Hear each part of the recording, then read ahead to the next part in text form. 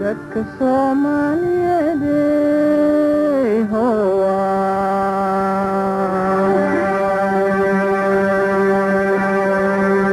waxay degan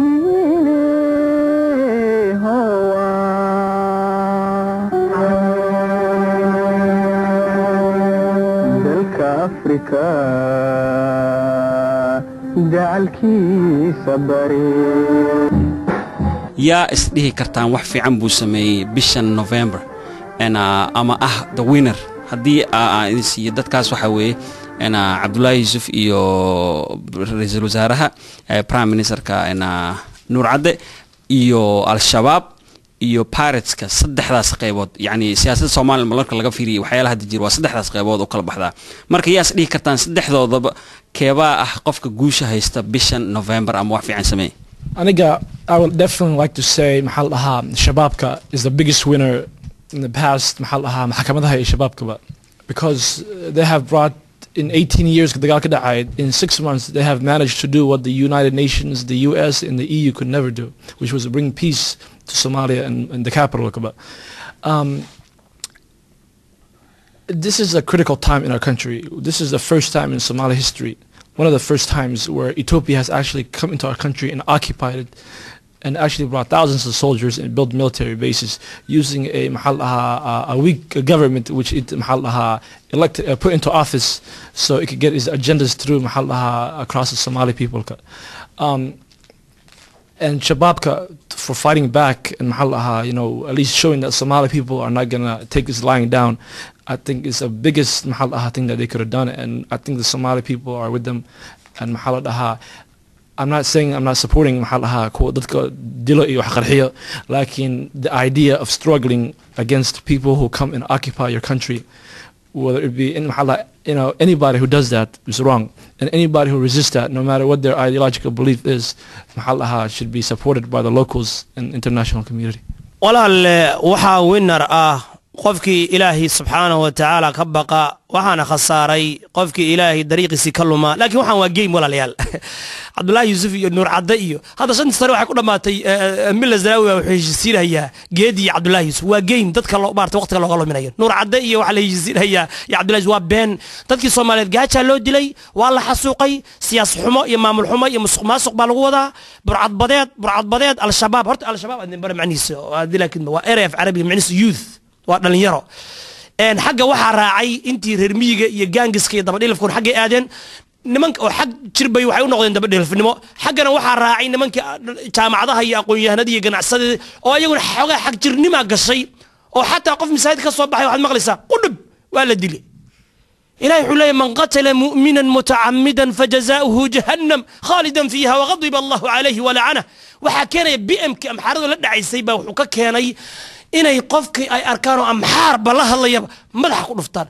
Nin isqarxina isqarxinta diintu ma ogola walaa taqtuluu anfusakum laakiin dalkaaga difaac fain qaataluukum faqtuluuhum if they fight you fight against them. laakiin dadkaaga hala dirir waxaa kana walaalayaal beryihii hore waxaa socon jirtay bil waxaa b b c da haystay qanyare bilna waxaa haystay suudi yelaxow bilna finish bilna beebe bilna berahiiraale bilna xaaji masalle bilna xaaran kuneex bilna waxaa haystay waa wixii oo kale hadda waxaa socda abukaa dujaana abukaa ka mansuur abukaa cabdulaahi ka yuusuf waxa kan marka ciyaarta tan waa ma soconayso soomaaliya ka xagga ku dhimanayana waa soomaali ka xagga ku dhimanayana waa soomaali gaalo iyo amxaarana waxay adeegsanayaan divide and conquer qaybi oo xukun hore aysa gaalana qaybina aan walaalowno oo midowno فاتقوا الله وأصلحوا ذات بينكم إنما المؤمنون إخوة فأصلحوا بين أخويكم هل هشيو صوماليا توصو توصو الليهين كتير صدا أو هدبتيدنا تاقدرني تاقير ولييني وجزاكم الله خير aniga haddaan fikrad ka dhiiban lahaa saddexdoodaba mid oo maxaan dha aan siin lahaa bishaan guul ama maxaan dha ay soo hoyiyeen ma jirto. Haddaa fiirisid mid walbo isaga ah wuxuu geystay dhibaato. Al-shabaab. Al-shabaab horta waxay dhaheen waxaan u dagaalameynaa inaan soomaaliya soo celino oon ku soo celino nabadii iyagoo geysanaya dhibaato kale. Dhibaatada oo ah qof masaajid ka soo baxoo la dilo maxaan dhahaa gabar yaroo maxaan dhahaa oo la dhaho maxaan dhahaa adultery ka mid gareyso oo dhagax lagu dilo. Qofkana islaamka diinta islaamka qof walboo yaqaano gabadha haddayna afar qof oo u jeeda markay isla seexanayeen haddayna joogin lama dili karo. Ama ayna iyada afkeeda ku marin. Qof maxaa dhaha inta la soo qabtay horta haddayna diinta islaamka aynay maxaa dhaha maxkamadaha islaamka ayn joogin iyo nin daacad ah una ka dhisnayn wadankaasna diinta islaamka maka maxaa dhaha kuma shaqeynayso oo maxaa dhaha laguma dili karo taas ayadoo haddana waxaa pa- piratka waxay haddeer wax- waxay ku rideen adduunkii teera iyadoo maxaa dhahaa soomaaliya intii xataa timirta iyo wadamadiisu xoogaa caawin jira oo united nationka intii yarta ayay wadamadii isku direen. Maray eh, maxaa dhahaa jidka u istaagaan carabtii maray u istaagaan turki maray yurub u istaagaan. Qole ay ay taageereenayaan ayadoon jirin. Haddii la dhaho cabdullaahi yuusuf cabdullaahi yuusuf shan sano ayuu madaxweynenimo haystay anigoona dhehaynin cabdullaahi yuusuf waa problemka only asaga ma dhahayo. Waxaa waaye soomaalidii oo mid walba qabiil aaminsan ayaa maxaa dhaha horta madaxweyne muxuu meel gaaraa? Haddii franklin maxaa dhaha isha j f kennedy ah wuxuu dhahay do not ask what you country can do for you but ask yourself what you can do for your country. Iyadoo soomaalida inay isweydiiyaan ee su'aashii maxaa wadankaaga u sameyn kartaa inay ahayn su'aashii muxuu wadankaaga kuu sameyn doonaa? Haddaa wadankaaga wax u samaysid adigana berri ayuu ku anfacayaa waa wadan aa ku nooshaa oo maxaa dhaha shaqo ka heli doontid oo ku noolaan doontid marka aniga saddexdooda ma siin lahayn saas ayaan uga gudbaya wallaahi horta winarku ama saddexdii hadda la sheegay waa winar waxaan ku tilmaami lahaa qofkii wada danta soomaaliya iyo dalka haddii aan kala qaado I wouldn't say cabdullaahi yuusuf iyo nuur cadde but I would say the government of somalia iyo al-shabaab iyo eh, piracygan iyo dadkan badaha taagan. Eh, wallaahi horta run ahaantii al-shabaab haddii la yidhahdo defending your country is good but defending your country in the wrong way is not good. Piracy eh, baddaan joojinaynaa dad baanan dhacaynaa is not good the only thing I would suggest that uh, saying Abdullah Yusuf did this, uh, Anur Adda did that, did this, I would blame the whole government. Just a little story. One of the most devastating things, waxyaalaha igula yaabka badnaa, igula mucjisada badnaa waxay ahaayeen oo dowladda aan ku arkay Soomaaliya. oo ilaa hadda aan weli wax jawaaba keenin. Eh, hadda kahor yarkan cabdisaan caati khalalaas yarkan walaalkan aan qaaday hadda maanta eh, public forumkan yaa wuxuu wareysanayay eh, Somali ambassador. Waxay ku jirtaa YouTube kulligiin waa wadaadi kartaan. Wuxuu weydiiyey marka walaalow waxaa tahay Somali ambassador u fadhiya Mareykanka. Waxaad naga dhaadhicisaa hawsha aad qabanaysaan oo dowlad ahaan sidee xal ugu tahay dalka dadka Soomaaliyeed? Wuxuu yidhi annagu haddaad dowladna. Aan quote hawsheennu ma ahan inaan ka dhaadhicino dadka Soomaalida ah waxaan qabanayno. Believe waxa saas u hadlaaya waa ambassador dhan oo fadhiya dalka Mareykanka. Dhahaya a- sida ambassador fadhiya. Yani ambassador dhan oo Soomaali ah yaa wuxuu leeyahay hawsheenna ma ahan. Our job is not to convince the people of Somalia of what we're doing. Marka dowladdu wallaahi waad saa uguma saa uguma sii gacan laftiga uguma sii gacan taaginaya but waxaan filayaa intii hadda la sheegay anuu su'aasha ka jawaabaya there is no winner. They're all bunch of losers. But the, just answering the question I think the government is bit doing like a bit progress inay sameynaysa yani wax yar oo horumara haba ahaado in dadka la blame gareeya haddii rabtee Before I said Mahalaha, the, the winner was Shababka, and I meant that in the context of Mahalaha um, bringing attention to the crisis while also defending our country and making a Mahalaha force where everybody else can support them to let Ethiopia know that we're not going to take it easy, you know, take it laying down. Um, the other problem is the biggest loser, you asked me the biggest winner, the biggest loser, Hawaii, the Somali government. One of the things I was ashamed of, I saw that video said on uh, YouTube. Uh, that's one of the many things that they do. And and this not only goes for the government, but the Mahakamadaha and the pirates. They have a PR problem, which is public relations. Gabadha maqlaya maxal aha oo 13 years old oo who was stoned to death for rape, she got raped allegedly. Even if that does happen, it shouldn't be in the day of light. You know, you should go. You're gonna gabadha dili said meel ku dil. You know, don't. Uh, you know, that's a public relations uh, oo xun weeyaan you know, you don't want the last thing you want is mahala Americans and Europeans waking up to the newspaper and saying a little girl who's 13 years old got stoned to death in the uh, is, uh, third largest city in Somalia, Kismayo, with hundreds of bystanders standing by doing nothing. That's just a horrible public relations mahala thing right there.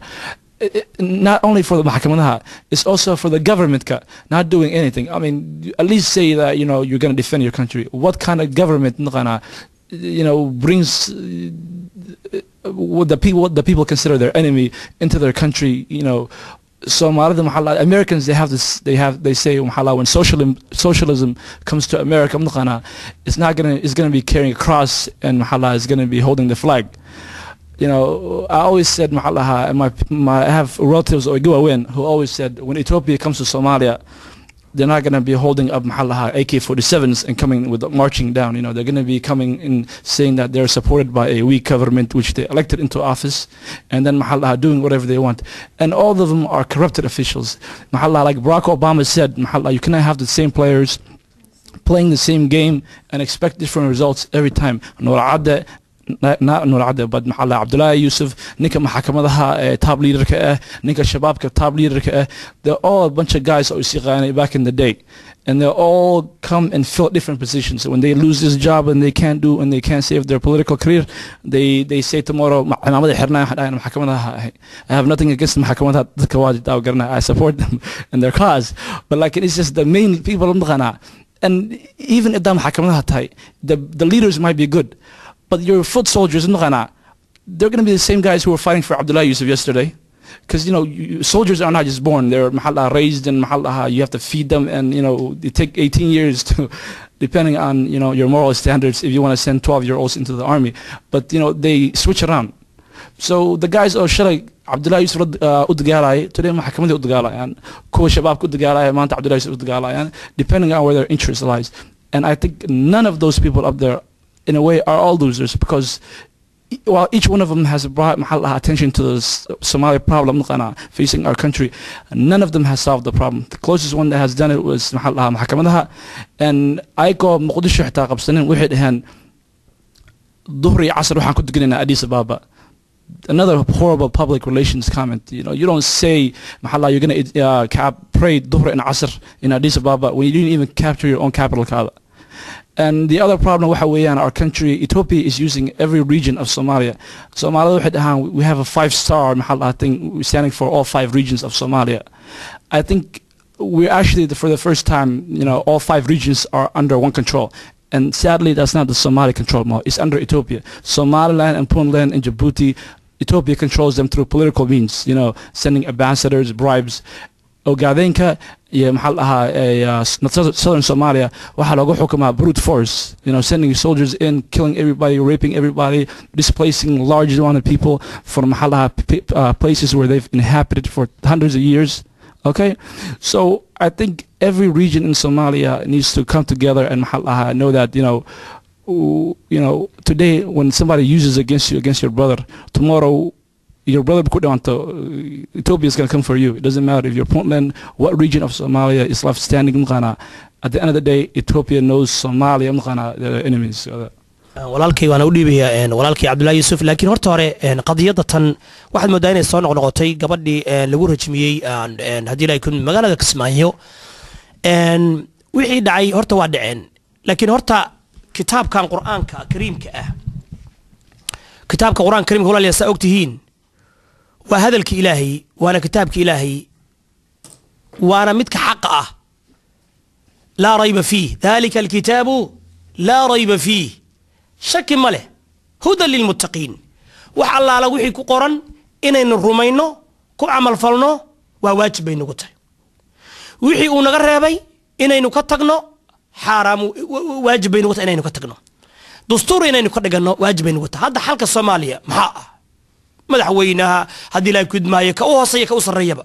Kan oo loo noqdo iyo sunnadii rasulka sal alay slam fain tanaasactum fii shayin farudduuhu ila allahi waalrasuul haddaad wax ku murantaan oo isku qabataan ilaahay kitaabkiisa u noqda. Wama اkhtalaftum fiihi min shayin faxukmuhu ila allah. Wax kastoo aad isku khilaaftaan ilahay xukumkiisa jecla kitaabkii ilaahay iyo sunnadii rasuulka calaa fahmi salaf saalix. Al-shabaab waxaan ugu yeerayaa xukuumadda waxaan ugu yeerayaa maxkamadaha kulligood waxaan ugu yeerayaa inay kan ku kala baxaan. Midna waa ka baqayaa hadday xataa amxaar hadda way baxaysaa waa inay jabaysaa. Tusaale idin oo cad. 1979 dowladda ruushku waxay soo gashay oo qabsatay dalka afghanistan. Waxay ka dhistay dowlad dabadhilif ah. Adduunweynihii oo dhan baa ku kacay. Xataa reer galbeedku waxay caawinayeen nimankii mujaahidiinta ah hub bay siiyeen training bay siiyeen. Xataa binlaadinkan aan maqa berigaas soo camba hubkii wixii la baray haddii la kudmay waagaasaa la tababaray. Ruush waa laga adkaaday. Hal milyan iyo bar muslimiin ah ayaa ku dhimatay. Ruushkana waxaa ka dhintay ciidamadii red armka la yidhaahdo ciidamada khatartka ee rangerska maraykanka ay u yaqaanaan konton kun baa ka dhimatay. Aakhirkii toban sano ka bacdi ayagoo dulaysan oo darxun bay ka baxeen. Waxaan leeyahay hadda ka horna waxaa ku jabay afghanistan britishka ku jabay waxaa ku jabay ciidamo kale kuwa hadda joogana sidoo kale ayaa ka qabsanaysa dhibaata ka qabsanaysa. Soomaaliya sidoo kale wixii ciidamo gala shisheeye bad iyo biriba way ku jabayaan. Xalkeennuna waxaa weeyaan walaalnimo iyo kitaabka ilaahay inaynu u noqonno. Nimanka wadaadada hal mid baan ku gabagabin waxaan leeyahay afghanistan markuu ruushku ka baxay ayagii baa isbaabi'iyey abuka mascuud abuka sayaaf abuka baalki ayagii baa baabahaas ka dhigay. Haddana waxaan maqlaynaa al-shabaab baa dhowr garaba khaalid bin waliid abuka waliid abuka bahalkii maxkamadaha sheekh indha cadde haddii la ku idmayo sheekh abuka mansuur sheekh haddii la ku idmahayo boqol sheekh kaa shariif xasan daahir aweys wax balaa meel jinni bay u kala baxeen. War idinkuna midooba oo wadaad markuu heshiiyo oo kitaabkii sunnada fahamkii asxaabta ku heshiiyaan salafu saalex dhaqankiisa ku heshiiyaan baa muslim kalena heshiinayaan ummadana la heshiiya. Idinkuna heshiiya oo isbaabi'inina muslim kalena la heshiiya. Gaal iyo muslimba sida walaalkan sheegayo ardisababaan weerara waa ku khaldara indhacde oo rasuulku wuxuu sal alla alay wasalam laa tatamanaw liqaa'a alcaduw dagaal iyo cadowga inaad la kulantaan rajaynina oo ha jeclaysanina markaad la kulantaanne fasbiruu ilaahay ow nabadna sii oo ummadda walaale oo dadka soomaalida aan weydiinay mid midda koowaad yacni fikirka aan ka qabo al-shabaab su'aasheeda waxaa waaye sidee wax u xallin kartaa markaad tahay wixii la xalinaya yacni markaad dhibaatadii tahay sidee wax u xallin kartaa su'aasha labaadan weydiin lahaana waxay tahay sidee u gaari kartaa mustaqbalkii? Markaad joogtay wixii bastiga ahaa. Yacni how can you get to the future if you're like in the past? You're not in the present. How can you get to the future? And my question yani haddaan comment ka dhibto walaali waxay soo sheegeen soomaalidu waa dad wadani ah. Dadkeenii soomaaliya joogay khaasatan waxaa ku batay argagixii iyo cabsidii iyo feerkii iyo dhibaatadii iyo gaajadii. And once a person is in that state is in that psychological state is willing to surrender his common sense. Qofka waxaa ka dhumaya yani noloshii isdaba yani noloshiisa isdabataalkeed waxaan ka wadaa waxaan kala jeedaa qofku markuu ka bato cabsida oo gaajada ka badato oo biilaanta ka badato oo yani waxbarasho la'aan ay tahay qofku wuxuu ku soo baxayaa heer ee dantii ku qasabto waxyaalaha bilaanimada ka baxa inuu sameeyo. Al-shabaab haddaa la hadlo. Al-shabaab protecting the country i don't think that is a good idea. You know by what you're doing claiming that diinta islaamka ah yaan isticmaalaynaa but in the wrong way by torturing some innocent civilians by yani naakin dad dhibaatooyin waaweyn adinkoo geysanaya dhibaatooyin yaraad geysanaysaan dhibaatooyin weyn baan ka helaynaa marka i would suggest somali people inaysan support siinin do not listen to me just what you think of. Do not support because supportkaada ama caawintaada qof alaali qofkaa taageerisid counts. Just be careful of who you always um, support haddaad dowladda leedahay dowladaan saboort garaynaya haddaad leedahay shabaab haddaad leedahay ehm, kuwii bada taagnaa kuwaas horta ilankiguma jiraan but am talking about shabaab iyo am talking about the dowlad so be careful of your support. Wacalaykum asalaam waraxmat ah, waxaa soo gaaray gabagabadii aad ayay umahadsan tahayn waxaa rabaa marka u horeysan u mahadnaqo ah, badrab maxamed saalax oo ah gabadha keliya oo panelka ku jirta geesinimadeeda iyo sharafteeda hal mar oo sacbin aad umahadsan tahay maasha allah allah akbar. Gabar si fiican u labisan waa tahay. Waxaan rabaa inaan umahadnaqo anyaanle daad oo isaguna si fiican uga qayb qaatay. Hal mar oo sacbino maasha allah waxaan kaloo rabaa inaa isagana umahadiyo sheekh cabdiraxmaan xaaji oo isaguna waxyaalo fara badan noogu faa'iideeyey dhanka diinta u badneed oo mahadsan tahay. Maasha allah waa dhahaynaa cabdirashiid nuur oo isagana si fiican uga qayb qaatay aad baa u mahadsan tahay sacbay cabdirashiid iyo ugu dambayntii cabdullaahi yuusuf oo isaguna ah madaxweynihii hore soomaaliya